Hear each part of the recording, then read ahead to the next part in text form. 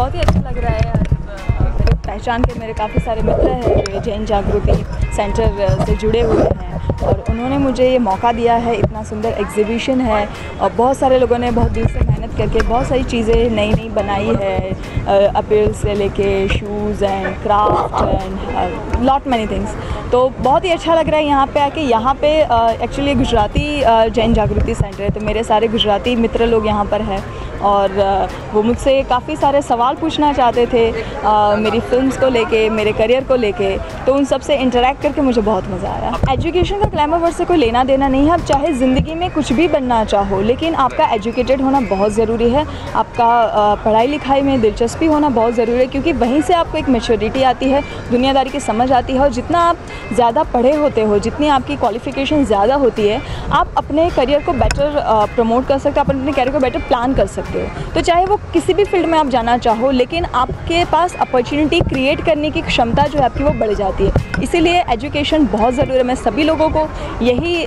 सलाह देना चाहूँगी। चाहे दुनिया में आप कुछ भी बनना चाहो, अपनी ज़िंदगी में आप कुछ भी मुकाम हासिल करना चाहो, लेकिन कभी भी अपनी स्टडीज़ के साथ कॉम्प्रोमाइज़ मत। I am wearing a कल्की today it's outfit created by कल्की and it's a very beautiful it's a fusion you know it's an Indovision fusion with a very light peach and gold shimmer on it so I am just loving it's a perfect outfit for the day day any occasion इन बिल्कुल because calendar girl ये मेरी पहली Bollywood film है तो definitely मैंने पहले regional फ़िल्में की मैंने दो तमिल फ़िल्में की है, एक इंटरनेशनल शॉर्ट फ़िल्म की है।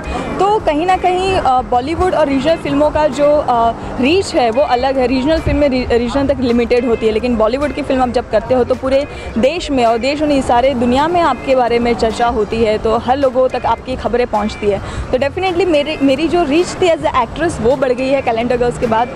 और कैलेंडर गर्ल्स के बाद मुझे एज एक्ट्रेस काफ़ी अप्रिशिएट किया गया है तो मुझे उस बात की खुशी है कि लोगों ने ना ही सिर्फ़ मेरी खूबसूरती को सराहा है, लेकिन मेरे टैलेंट को भी सराहा